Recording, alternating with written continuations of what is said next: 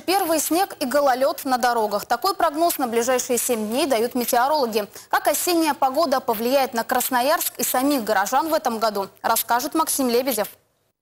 На этой неделе синоптики вновь обещают нам заморозки и дожди, поэтому красноярцам пока лучше не расставаться с зонтом. Но серьезных осадков все же не будет. Зато минусовые температуры по ночам в городе установились прочно. Так что вполне возможно, в ближайшие 7 дней мы увидим первый снег. Уже завтра, во вторник, к осеннему холоду добавится ветер до 14 метров в секунду. Так что утепляйтесь. Ночью минус 1 градус, днем всего плюс 4. Но самым холодным днем, а заодно и ночью рабочей недели станет среда. В темное время суток минус 3 градуса, днем плюс 3. К такой холодной и мокрой погоде красноярцам не привыкать. Для нас это навряд ли станет испытанием. Чего не скажешь о новых лавочках и урнах, которые сейчас устанавливают по всему правому берегу. Накануне их раскритиковал общественник Виталий Чеусов. Он считает, эти конструкции уже к весне покроются ржавчиной, а через пару лет и вовсе развалятся. Что ж, посмотрим.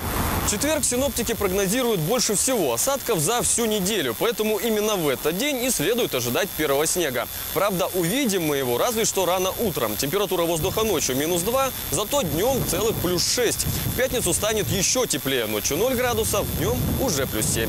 На смену осенним температурам скоро придут зимние. Красноярск готовится к этому вместе с горожанами. Вот и сквер на Винбаума, видимо, решили облагородить. Результат, правда, плачевный. Большую часть деревьев здесь вырубили, остальные обрезали так, что озеленение теперь больше напоминает чистокол. Поэтому красноярские экологи уже обратились в прокуратуру.